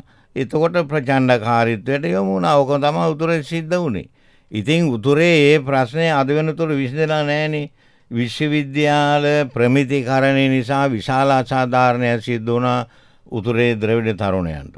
දිස්ත්‍රී පංගු ක්‍රමය යටතේ. ඒ වාගේ මහල් ව්‍යාපාරයේ අවස්ථාවේදී ජලය ගෙනියන්න තිබුණා. ඒ ප්‍රදේශත් ඒවා ඔක්කොම නැතුවා. මහවැලියේ මම දන්නවා මහවැලියේ රැකියාවකට ඉල්ලුම් පත්තරයක් දාපු ද්‍රවිඩ තරුණයෙකුට වෙච්ච දේ. ඔහුට අඩු ගානේ ඉන්ටර්විව් එකකටවත් කැඳෙව්වේ නැහැ. ඉතින් ඒ වගේ ප්‍රශ්න නිසා තමයි ඇති වුණේ. මේක ජාතිවාදයක් අවශ්‍ය නැහැ. ලංකාවේ දකුණේ ඉන්න දෙමළ ජනතාව උතුරේ ඉන්න දෙමළ ජනතාව කියලා ගැටලුවක් නැහැ. මේ ප්‍රශ්නේ ජාතික ප්‍රශ්නයක්. ව්‍යවස්ථාව හදන්නේ උතුරේ දෙමළ අයට හරි නැගෙනහිර මුස්ලිම් අයට හරි කොළඹ ඉන්න ද්‍රවිඩ අයට හරි නෙමෙයි මේක මුළු ජනතාවක් මේ රට පාලනය කිරීමේ ප්‍රතිපත්ති මාලාව මේ සකස් කරන්නේ. මොකද ඔබතුමාම කීවන දැන් හැත්තෑට ව්‍යවස්ථාවේ ඒ වෙලා වෙනම් මේ මහජන උද්‍යෝෂනයක් තිබුණෙත් නෑ අදහස ප්‍රකාශ කරන්න ඉඩ තිබුණෙත් නෑ. ඒවාගේම මේ සාකච්ඡා සම්බන්ධරන තිබුණේ නෑ විමසුවේ නෑ. ලියුම් අරන් කලා කියලා දැන් ඔබතුමා ප්‍රකාශ කරන්නේ. ඒ ලියුම් දුන්නේ එකයි මේ ව්‍යවස්ථාවේ මේ අර කෙටුම්පත් ඉදිරිපත් කිරීමයි දෙකක්. දැන් නිකන් හිතලා බලන්න ඔබතුමාලගේ අපේ නියෝජිතයන්ට තමා මේක ඉදිරිපත් කරලා තියෙන්නේ. ඔවුන්ට පුළුවන් අදහස් ප්‍රකාශ කරන්න. වැරදි තියෙනවා නම් ඒවා ගන්ති අයින් කරන්න කියන්න පුළුවන්. අලුතෙන් සංශෝධනය කරලා ඇතුල් කරන්න ඕන නම් එහෙම ඇතුල් කරන්න කියලා ඉල්ලීම් කරන්න පුළුවන්. අද ආරම්භ වෙනවනේ සංවාදේ 30 31 පළවෙනිදා. ඉතින් අපි අපිට බලන්න පුළුවන් මොකද වෙන්නේ කියලා. ඉතින් ඒක මේක හොරෙන් කරන එකක් නෙමෙයි. හැත්තෑ දෙකේ හැත්තෑටේ ව්‍යවස්ථාවාගෙන මේ අද තව ව්‍යවස්ථාව සකස් කරලත් නෑ කෙටුම් පත නිකම් මේ අර අක්කා පෙන්ලා නංගි. ආච්චි දුන්නවා කියලා ඔබතුමා කියන එහෙම නෙවෙයි ඔබතුමත් ඡන්දය දීපු නියෝජිතයෙක් ඇතිනේ ඔය පාර්ලිමේන්තුවේ ඔහුට ප්‍රකාශ කරන්න. ඒ අයට පුළුවන් මේ ඔක්කොටම පිටපත් දීලා තියෙනවා සාකච්ඡා කරන්න පුළුවන් අදයි හෙට අනිදා විවාද කරන්න පුළුවන්. ඒතකොට මහජනයාගේ අදහසනේ ගන්නෙ. ඔබතුමාගේ අදහසත් එතන නියෝජනය වෙනවා. තමන් ඡන්දෙ දීපු මන්ත්‍රීවරු යවලා තියෙන්නේ මේ පොල් ගාන්න නෙමෙයිනේ. මේ වගේ වැඩවලට උදව් කරන්නනේ. සා- යුක්තිය සාධාරණම තන පදනම් වූ ව්‍යවස්ථාවක් ගේන්න කියලා කියන්නේ මේ මන්ත්‍රීවරයාට. හොඳ හඳුරනේ දැන් ඔබ උන්වාස ප්‍රකාශ කරේ මේක අපේ සරල කාරණා විදිහට ගන්න නැතුව මේ මේ මේ ව්‍යවස්ථාවේ තිබෙන ඊටමත් වැදගත් කාරණාවල් තිබෙනවා. ව්‍යවස්ථාවක් අවශ්‍යයි කියන දේ රට මුළු රටම පිළිගන්නවා. එතකොට දැන් මම බලාකුළුගේ මහත්මයාගේ අවධානය යොමු කරන්නේ. දැන් මේ ව්‍යවස්ථාවේ තියෙනවා ස- සමහර වෙලාවට මේ කතා කරනවා බොහෝ දුරට සමාජය තුළ බොහොම සංවේදී කාරණා. එකක් මේ බෞද්ධ ආගමට තියෙන තැන නැති වෙයි කියන කාරණාව. ඒ ඒ ඒක ගිලිහෙයි කියන කාරණාව පිළිබඳව ජනතාව සංවේදී. මෙන්න මෙවැනි තැන් කොහොමද මේ මේ නිවැරදි කරගෙන ජනතාවට නිවැරදි අවබෝධය ලබා දෙන්නේ? මම එක විනාඩියක් ගන්නන් අර කලින් සනත් මහත්මයා ඉදිරිපත් කරපු ගැටලුවට පිළිතුරක් සපයමින්ම ඔබේ ගැටලුවට අවතීරණ වෙන්න දැන් ඔහු පැහැදිලිව සඳහන් කරා එක්දස් නමසේ හැත්ත අට ව්‍යවස්ථාව සහ ඒ හා අනුබද්ධ සංශෝධන ඉදිරිපත් වෙලා තියෙන්නේ කොහොමද කියන කාරණය මත්. ඇත්තරම ඒක අර ඔහු ඉතාම නිවැරදි උපමාවකින් ප්‍රකාශ කරා ඒක නංගිව පෙන්නලා ආච්චියම්ම දුන්න වගේ එකක් තමයි. හැබැයි දැන් තියෙන ගැටලුව තමයි අපිට දැන් ආපහු කතා කරන්නේ මේ වෙලාවේ අලුත් ව්‍යවස්ථාවකට යන්නේ නැතුව සංශෝධන තවත් ඇති කරන්න කියලානේ. එතකොට අර ඇති කරපු සංශෝධන වලට මොකද වෙන්නේ? දැන් ඒ දීපු ආච්චි අම්මලව අපිට පුළුවන් ද නංගිල බවට පත් කරන්න. ඉතින් ඒකින්ද මේ වෙලාවේ කල යුත්තේ නැවතත් ආච්චි අම්මාට සලුපිලි ඇඳවීම නෙමෙයි. මේක නැවතත් සමාජ ප්‍රතිසංස්කරණය සඳහා තුඩුදිය හැකි ආණ්ඩුක්‍රම ව්‍යවස්ථාවක් නිර්මාණය කිරීම. දැන් ඔහුම ප්‍රකාශ කර එක්දස් නම්සේ හැත්තටේ ව්‍යවස්ථාව නිර්මාණය වුණේ කොහොමද කියලා.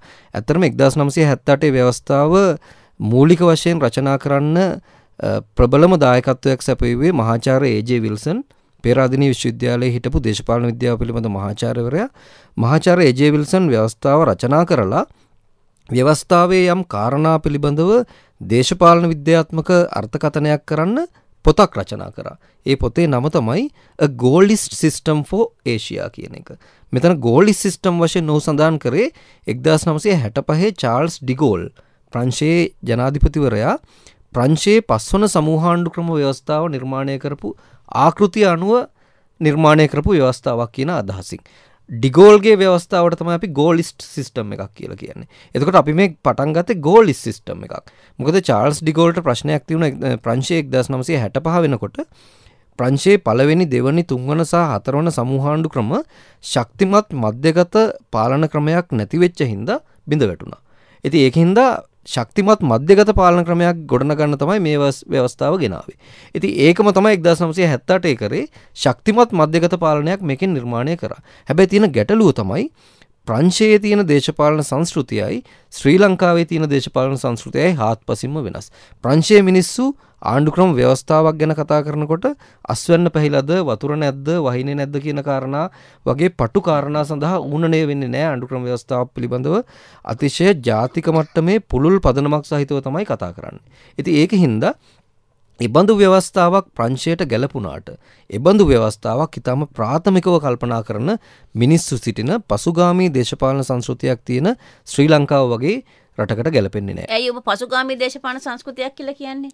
පසුගාමි දේශපාලන සංස්කෘතියක් වශයෙන් මම හඳුන්වන්න බලපාන ප්‍රධානම කාරණය තමයි අපි සියලු කාරණා පිළිබඳව විග්‍රහ කරන්නේ. සියලු කාරණා පිළිබඳව අපේ මතය ප්‍රකාශ කරන්නේ අපි ඒ පිළිබඳව දීර්ඝ වශයෙන් කරන අධ්‍යයනයකින් හෝ ගැඹුරු අවධානයකින් නෙමෙයි. අපි සියලු කාරණා ප්‍රකාශයට පත් කරන්නේ අපි ආශක්ත වන දේශපාලන කණ්ඩායමේ නායකයා ප්‍රකාශ කරමින් සිටින්නේ මොකක්ද. අන්ද භක්තියෙන් අපි මේක අනුගමනය කරනවා. භික්‍ෂූන් වහන්සේලාට මම කනගාටුයි මේ වෙලාව කියන්න මේ කතාව නමුත් භික්‍ෂූන් වහන්සේලා වනත් කරමින් සිටින එකයි. ඇතැම් භික්‍ෂූන් වහන්සේලා. ඔවුන් ඇත්තටම ඔවුන්ගේ ප්‍රධාන ශාස්තෘූවරයා වන බුදුන් වහන්සේ ප්‍රකාශ කරපු එක මූලික අති මූලික න්‍යායක් අමතක් කරනවා. ඒ තමයි දෙයක් ඇසූ දුටු පමණින් පිළිගන්න එපා. ඒක තමන්ගේ ඥාන පද්ධතිය ඇතුළු විමර්ශනය කල්ලා ඥාන වීමන්සාාවකට භාජනය කල අපි කෙන එපොස්ටමල් එපිස්ටමොලජිකල ඉංග්‍රිසියෙන් ඥාන වීමන්සාාවකට භාජනය කරලා ඒ පිළිබඳව කරුණු හදාරලා තමන්ගේ මතය ප්‍රකාශ කරන්න කියලා. ඉති මේ වෙලාවේ දැම් මේ සටන් පාට කියන එකේ තේරුමක් නෑ නංගි පෙන්නලා ආච්චි ගන්න එකවත් එහමනත්තම් මුට්ටිය දැමීම ඇතරම මේ මුට්ටිය දැමීමක් තමයි දැන් කරන්න වෙලා තියන්නේ අපිට. මොකද මෙච්චර කාලයක් අපි කරපු ආණ්ඩුක්‍රම ප්‍රතිසංස් කරන දුරල්ලා තියෙනවා. හැබැත් ඇත්තරම මුට්ටියක් දැමීමද නැත්න සමාජයට දැම්ම නේද? මෙන් මෙන්න මේ වගේ තෝතුරු එකතු කර මෙන්න මේ මගේ කතිකාවක් සමාජය තුළ ඇති වුණ.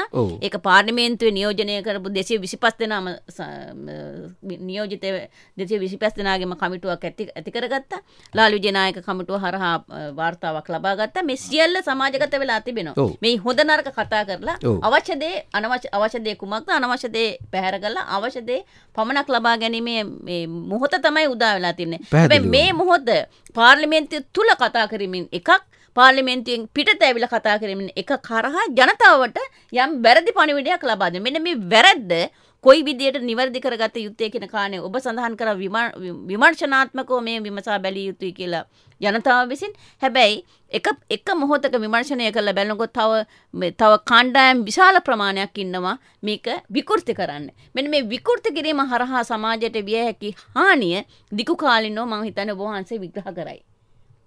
මේ ජනතා මනස විකෘති කිරීම හරහා සමාජයට විය හැකි හානිය. ඇත්ත වශයෙන්ම මේ ප්‍රශ්නයට සාර්ථක පිළිතුරක් මා මුලිනුත් ප්‍රකාශ කළේ මේ පවතින රජයේ තුළ ප්‍රධාන දේශපාලන පක්ෂ දෙක අත්වැල් බඳගෙන සංහිධයා ප්‍රතිපත්තියක් අරගෙන යන වෙලාවේ පාර්ලිමේන්තුවේ ඉන්න සියලුම මන්දිරුන්ගේ සහයෝගය ලබාගෙන මහජන අදහස් ලබාගෙන මේක සාර්ථකව කළේ නැත්තං ආයෙත් පසුබැසීමක් ඇති වෙනවා. මම පොඩ්ඩක් බාධා කරනකොට ස්වාමීන් වහන්සේ දැන් මෙතනදී අවශ්‍ය වෙන්නේ මේ මේක විවක්තාවට විරුද්ධයි කියන කොටසට අවශ්‍ය වෙන්නේ පාර්ලිමේන්තුව තුලදී ජනමත විචාරණයකී නව්‍යවස්ථාව ප්‍රජාතන්ත්‍රවාදීව පරාජය කරන එක නෙමෙයි. සාමාන්‍ය ජනතාව රටේ සාමාන්‍ය ජනතාව උසිගන්නලා දකුණ ගිනි අවුලවන්නේ කියන කාරණය තමයි ජනතාව පැත්තෙන් කියන්නේ. ඔව් ඇත්ත වශයෙන්ම ගිනි ඇවිලීම විතරක් නෙමෙයි දැන් අපි දන්නවා මේ රජයේ බලයට එනකොට ප්‍රකාශ කළා මේ දූෂිත මන්ත්‍රීවරු හොරකං කරපු අය වංචා කරපු අය ඒ චෝදනා තියෙන අය සමහර අය මේ මෙහෙම කරනවා මේ කටින් දනුවන් දෙනවා කියලා. දැන් ඒකට පටන් අරන් තියෙනවානේ. ඒ එක්තරා පිරිසක් ඒ ඒවායෙන් ගැලවීමේ මාර්ගයක් වශයෙන් මේ රජයට විරුද්ධව කටයුතු කරන්න මෙහෙවනවා. ඒ අයම තමයි දැන් ඔය ඇතැම් භික්ෂූන් වහන්සලා යොමු කරලා තියෙන මම හොඳට දන්නවා මේක මම නම් වශයෙන් කියන්න කැමති නෑ නමුත් මම දන්නවා මේක කොහොමද මේ භික්ෂුන් වහන්සේලාට මේ අදහස ගියේ කියලා ඔය විරුද්ධව ප්‍රකාශ කරන. ඉතින් ඒ අයත් ඒ පවතිච්ච රජයෙන් නොයෙක් වරප්‍රසාද භුක්ති විඳපු අය. ඒ නිසා එයාලා උත්සාහ කරනවා මේ දඬුවම් දෙන්න ඉස්සලා මේ රජේ පෙරලන්න පුළුවන්ද කියලා. ඊළඟට මේ මේකේ සම්මානය ලැබෙන්ඩ ඉස්සරලා මේ එක්සත් ජාතික පක්ෂයටත් ශ්‍රී ලංකා නිදහස් පක්ෂයටත් ඒවාගේම ජනායපතුමාටත් අකමැතුමාටත් ඒරිසලා මේක පෙරලන්ඩ පුළුවන්දලා දූෂිතයන් බේරා ගණ්ඩ පුළුවන්ද කියලා. අනිත් එක අධිකාරීවාදී බලකාමිත්වය ඇත්ත වශයෙන් ගිහි පැවිදි දෙපක්ෂේම ඇතැම් අයි තුළ තියෙනවා මානසික වශයෙන්. භික්ෂුන් වහන්සලා සමහර අය තුළත් තියෙනවා අධිකාරීත්වය අධිකාරී බලය. මේ එහෙම තියෙනවා භික්‍ෂූන් වහන්සේලාගේ අපි අපි අතර පවතින දෙයක් ඒක.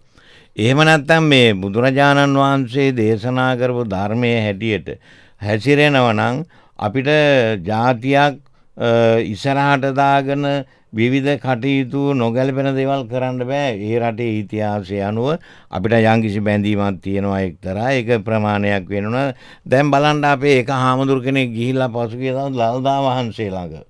වැඳ වැටිලා කියනවා අනේ දන්තධාතුූන් වහන්ස මේ රටේ බෙදන්ඩ යනවා මේක ගලවලා දෙන්න.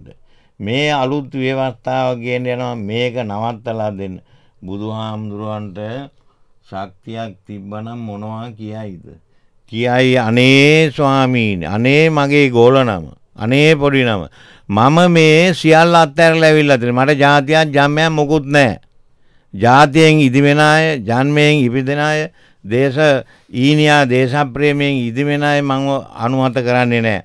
අපි සියලු මිනිස්සුයෝ සබ්බේ සත්තා සුඛී භවතු කියලා අපි කියන්නේ. ඒ නිසා මෙතන තියෙන සුඛී භවතු වෙන්න බැරි තත්වයක් මේ රටේ මේ ජාතීන් අතර දිගින් දිගටම ආපු වෛරය තුන එදා ඊයේ ජනාධිපතිතුමා කියලා තිබුණා සුනේත්‍රා දේවී පිරිවෙනේදී මේ අබේති සාමුදුරන්ට කියලා තිබේ උන්වහන්සේ කතා කළා හොඳ දේශනයක් උදේ ප්‍රවෘත්තිවලට මම අහගෙන හිටියා ජනාධිපතිතුමා කියලා තියෙනවා මේ 48 ඉඳලා මොකක් හරි ආපු ගැටලුවක් අපේ රටේ තියෙනවා මේ ජාතීන් අතර. ඒ නිසා මේකට පිළියමක් දෙන්න ඕනෑ කියන එක මගේ හිතට වද දෙනවා නිතරම ඒ නිසා මේක විසඳන්න ඕනේ කාගේ සහයෝගයෙන් කියලා. ඉතින් උන්වහන්සේ පිළියනම් තියෙනවා ඒක. ඒ කරුණ දැනගන්න. හොඳයි හැමෝටම දුරකථනය අපිට සම්බන්ධ වෙලා ඉන්න අපි අවසාන අවස්ථාවක් ලබා දෙන දුරකථනය සම්බන්ධ වෙන හිතවතාට කතා කරන්න ඔබේ නම කියලා කතා කරන සූදෑසන මම ඩීඑල් උබේවර්ණ පානදුරෙන් ඇත්තට මේ ව්‍යවස්ථාවක් වුමනාය කියලා අලුතෙන් මේ ජනාධිපතිතුමා මේ ඡන්දෙ තියෙන වෙලාවේ කිව්වා. ඉතින් මේක මේ ඇත්තට රටේ අවශ්‍යතාවයක්.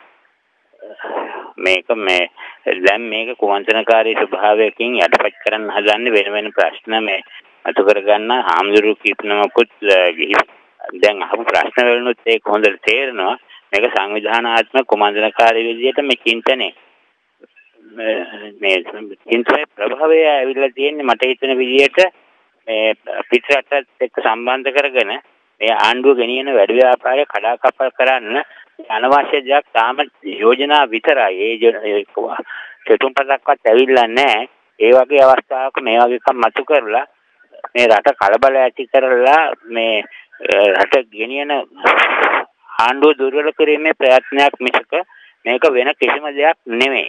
හොඳයි අපි අපි ස්තුතිවන්ත වෙනවා අදහස් ඉදිරිපත් කිරීම පිළිබඳව වලකුළුගේ වලකුළුගේ මහත්මයාගේ අවධානය යොමු කරන්නේ අපි කෙටි විලාවක් තියෙන කරු ස්වාමීන් වහන්සේගේ තව අවසාන මේ තොරතුරු ලබා ගැනීමට අවශ්‍යයි. දැන් පළාත් සභාවල ඉඳිමින් ඒ පළාත් සභාව සඳහා තමන්ගේ නියෝජිතයන් පත් කරගනිමින් පළාත් සභාව සමග බලය බෙදා ගැනීමෙන් ඉන්නම කොටසක් තමයි ෆෙඩරල් හරහා රට බෙදනමයි කියලා කියන්නේ. පළාත් සභාව දැනට ක්‍රියාත්මකයි. 13 ආණ්ඩුක්‍රම ව්‍යවස්ථාව ක්‍රියාත්මකයි. ඒකේ තියෙන්නේ බලය බෙදා ගැනීම. මේ බලය බෙදා ගැනීම කොහොමද රට බෙදන්නේ කියන කාරණය කොහොමද ඉතාමත්ම කෙටියෙන් පැහැදිලි කරන්නේ? ඔවු බලය බෙදා ගැනීම හෝ විමධ්‍යගත කිරීම කියන කාරණය අර මම කලින් කිව්ව වගේ අපි ඌනනය කරලා තියෙනවා ප්‍රධාන ආකාර දෙකකට. එක්කෝ ඒ කිය නැත්තම් ෆෙඩරල්. හැබැයි මේ බලය බෙදා ගැනීම කියන එක නැත්තම් බලය විමධ්‍යගත කිරීම කියන ක්‍රියාවලිය අපි රේකාවක් ඇතුළට අන්තර්ගත කරොත්. මේකේ කෙලවරක තියෙනවා බලය නොබෙදපු මධ්‍යගත රාජ්‍ය ක්‍රමයක් ප්‍රංශය තියෙනවා වගේ. යටම තියෙනවා වෙනම රාජ්‍යයක් බලය බෙදල බෙදල බෙදල සමහරලාට වෙන් වෙලා ගිහිල්ලා. ඕකේ හරි මැද්ද තියෙනවා ෆෙඩරල් කියන ක්‍රමය. ෆෙඩරල් ක්‍රමය හරි මැද්ද තියෙන ෆෙඩරල් ක්‍රමයයි ඒකී ක්‍රමයයි අතරමැද මේ රේකාවේ කොටසක තියෙනවා අර්ධ සන්දිය කියන ක්‍රමය ඉන්දියාව වගේ. අපි එතෙන්ට යන්න ඕනෙත් නෑ. අර්ධ සන්දිය ක්‍රමයයි ඒකී ක්‍රමයයි අතර තියෙනවා තව දහස් ගණන් ලක්ෂ. මේකට දෙන්න පුළුවන් හොඳම ආකෘතිය තමයි හිටපු ජනාධිපති මහින්ද රාජපක්ෂ මහත්මයා යෝජනා කරා 13 ප්ලස් කියලා සංශෝධනයක් මං හිතන්නේ අපි හැමෝටම මතක ඇති. මම දේශපාලන විද්‍යාත්මකව අර්ථකථනය කරොත් මේ ආණ්ඩුක්‍රම ව්‍යවස්ථාවේ අලුත් ආණ්ඩුක්‍රම යෝජිත ආණ්ඩුක්‍රම ව්‍යවස්ථාවේ බලය බෙදීමේ බෙදීම පිළිබඳ න්‍යායාත්මක පදනම හරියටම සමාන වෙනවා මෙන්න මේ 13 ප්ලස් කියන කතාවට. මම දන්නේ නෑ දැන් මේක කොහොමද ඒගොල්ලෝ සංසන්දනය කරලා තේරුම් නොගන්නේ කියලා. නමුත් මම අතීතයට ගියොත් මේ කතා කරන්නේ අපි අර්ධ සංධිය ක්‍රමයකටවත් පළාත් සභා ක්‍රමයකටවත් අතර මැදි හරියටම 13 ප්ලස් වගේ කතාව මහින්ද රාජපක්ෂ මහත්මයා කිව්ව 13 ප්ලස් ප්ලස් දෙන්න ඕන කියලා. හැබැයි එතුමා කිව්ව නම් මේක හරි වෙනත් අය කියන කොටත් තමයි මේක වැරද්ද කියන තැන තමයි ජනතාවට ඒතු ගණන් උත්සාහ කරන්නේ. අපි අවසාන අවස්ථාවක් ලබා දෙනවා හිතවතෙකුට ඉන්නවා අපේ මේ දුරකථනය ඇදලා අපිට ඔබට අවස්ථාවක් ලබා දෙනවා. කෙටියෙන් ඔබේ කරුණ ඉදිරිපත් කරන්න සුබ උදෑසනක්. කොහෙන්ද කතා කරන්නේ? මම මාතරින් කතා කරන්න සුබ උදෑසනක් අපේ ගෞරවනීය ස්වාමීන් වහන්සේටත් ඒ වගේම අපේ කතිකාචාර්යතුමාටත් ඇත්තටම වැදගත් සාකච්ඡාවක්. මොකද මේ වගේ කියන්නේ මාධ්‍යයකින් ඇත්තටම අර එකම පැත්තක් කතා කරන්නේ නැතුව මේක සාධාරණව මිනිස්සුන්ට ජනතාවට පෙන්වන අවස්ථාවක් හැටියට මම මේක දකිනවා. ඉතින් මේ වගේ අවබෝධය නැතිකම තමයි මේ ගැටලුව වලට හුඟක් වෙලා තියෙන්නේ. අනිත් කාරණේ තමයි දැන් අර ජාතිවාදයයි ආගම්වාදයයි අපි අරගෙන ඉස්සරහට ගියොත් අපේ අර හාමුදුරු ප්‍රකාශ කළා වගේ ඉස්සරහට මීට වැඩි ලොකු ව්‍යසන සිද්ධ වෙන්න පුළුවන්. සමහර වෙලාවට අද බලේ නැති කට්ටිය ඉස්සරහට බලයට ආවොත් ওই ප්‍රශ්න ওই විදිහටම මුහුණ දෙන්න සිද්ධ වෙනවා. ඒක නිසා කරුණාකරලා මේ බලය ගැන විතරක් හිතාගෙන කරන්නේ නැතුව මේ රටේ ඉස්සරහට සාමකාමීව සහජීවනයෙන් ඉන්න නම් මේ වගේ අවශ්‍ය ඒ මිනිස්සු උතුරු මිනිස්සුන්ගෙත් දකුණු මිනිස්සුන්ගෙත් ඒ වගේම නැගෙනහිර මිනිස්සුන්ගෙත් සියලු දෙනාටම එකට ජීවත් වෙන්න පුළුවන් වාතාවරණයක් ඇති වෙන්න ඕන. ඉතින් ඒක පිළිබඳ ජනතාව දැනුවත් කරලා අවශ්‍ය සංශෝධන අපේ ස්වාමීන් වහන්සේ ප්‍රකාශ කළා වගේ අවස්ථාව දීලා තියෙනවා. හොඳ නැති දෙයක් තියෙනවා නම් ඒක හොඳ නෑ කියලා ඒක පෙන්වන්න. නමුත් මේවා එහෙම කරන්නේ නෑ. මොකද එහෙම කරොත් අවාසි මේ දේශ සමහර දේශපාලනඥයන්ට. එහෙම නැතුව මේක හරි නිවැරදි පැත්ත පෙන්නලා අඩුපාඩුවක් තියෙනවා නම් ඒව හදාගෙන ඉස්සරහට යන එක මම හිතන්නේ මේ බලයට එන්න ඉන්න අයටත් බලයේ ඉන්න අයටත් සියලු දෙනාටම ඒ වගේම මේ රටේ ජනතාවට හොඳ අවස්ථාවක් වෙන බොහොම ස්තුතියි. ඔබ මතේ සුතේ එතුමාට ගරු ස්වාමීන් වහන්සේ ඔබ වහන්සේට තමයි අවස්ථාව තිබෙන්නේ අපේ මේ කාලය කාල වේලාව සීමිතයි.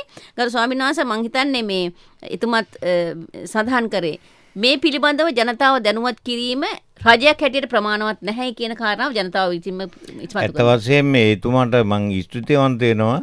එතුමා යමක් තේරුම් අරන් ඉන්න කෙනෙක්. ඒ වගේම දැන් පසුගිය දවස්වල මට මුණ ගැහිච්ච බොහෝ දෙනා මගේ අර වැඩසටහනක් තිබුණා මේ ගිරේ කියන වැඩසටහන ITN එකේ ඊට සතියකට පසු මම රිදිගම ඒජි ඔෆිස් එකට ගියා වැඩකට. මං ගිහිල්ලා වාහනෙන් බහිනකොටම 25ක් විතර මං වට කරගත්තා. වට කරගෙන ගියා ස්වාමීන් වහන්සේ ඔබ වහන්සේ තමයි ඇත්ත කීවේ. අපිත් ඔතන තමයි ඉන්නේ කියලා. මේ සාමාන්‍ය ජනතාව කැමති ඇයි දන්නවද මොකද කියලා. මේ මේ මේ යෝජන මේ කමිටු වාර්තාවේ යෝජනා කළා දෙනවා ග්‍රාමීය සභා. ඒ කියන්නේ ග්‍රාමීය සභා කියන්නේ රටේ ජීවත් වෙන සාමාන්‍ය ගොවි කම්කරු ජනතාවට මේ පරිපාලන වලට සම්බන්ධ වෙන්න තියලා තියෙන ඉඩක් ඒක. එතකොට දැන් ඉස්සර තිබුණා ප්‍රේමදාස ජනාධිපතිතුමා කාලේ ග්‍රාමෝදය මණ්ඩල. නමුත් ඒක අසාර්ථ වුණා. මොකද පාර්ලිමේන්තු මන්ත්‍රීවරු මේවට මුදල් දුන්නේ නැහැ. දැන් එහෙම නෙමෙයි මේකෙන් යෝජනා කරලා තියෙන්නේ ග්‍රාම සභා පිහිටුවට පස්සේ පාර්ලිමේන්තුව මගිම මුදල් ලබා දෙනවා. එතකොට ඒ සාමාන්‍ය ජනතාව මේ පාලනයට සම්බන්ධ වෙනවනේ. සාමාන්‍ය ජනතාව පාලනයට සම්බන්ධ වීම තමයි බලය බෙදීම කියන්නේ. දැන් අර ෆෙඩරල් කතාවක් අපින්ද මම ඒක අදහසක් කියන්න ඕනේ.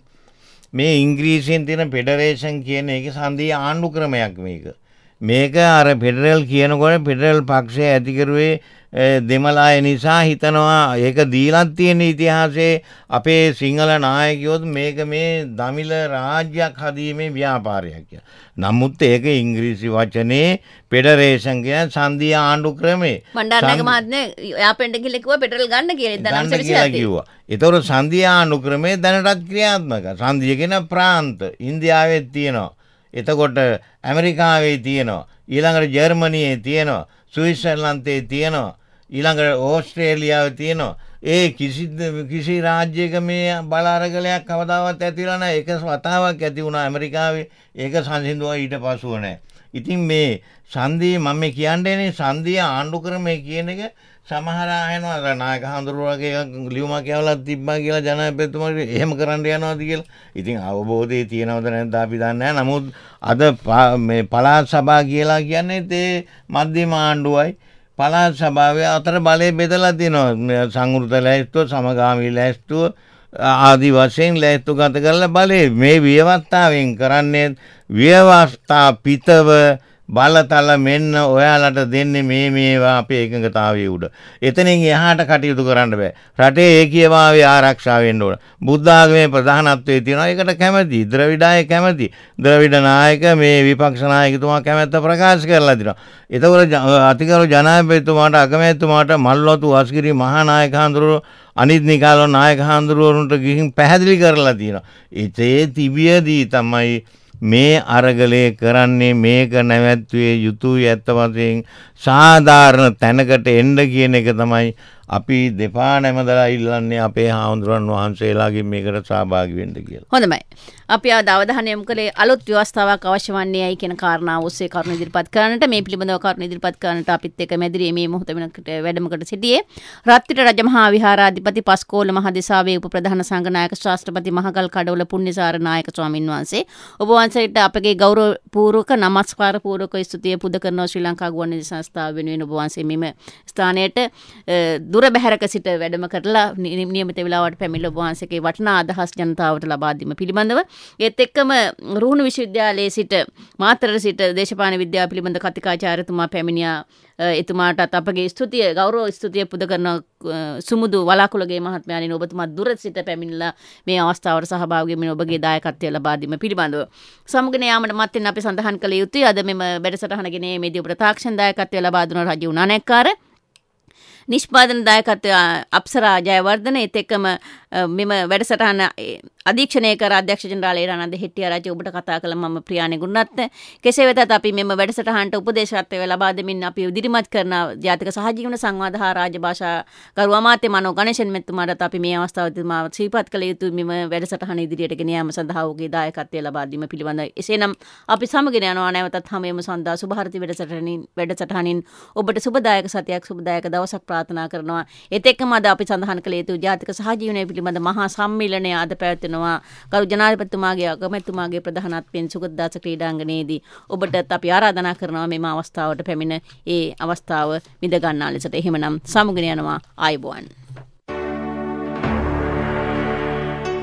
සිංහල දමිල මුස්ලිම් බර්ග මැලේ වැදි ජනතාව සහජීවනින් ජීවත්වෙන රටකි ශ්‍රී ලංකාව මේ විචිත්‍රත්වය තුළ පවත්නා සුන්දර වර්ණවත් බව අපේ ශක්තිය ලෙස අවබෝධ කරගනිමු.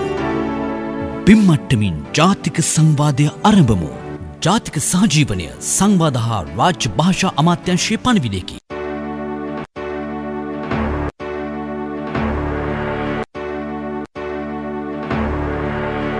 හදවත් නොබෙදමු රට නොබෙදමු දේශය ගොඩනගමු පිම්මට්ටමින් ජාතික සංවාදය අරඹමු ජාතික සහජීවනය සංවාද හා රාජ්‍ය භාෂා අමාත්‍යංශය පණවිඩයකි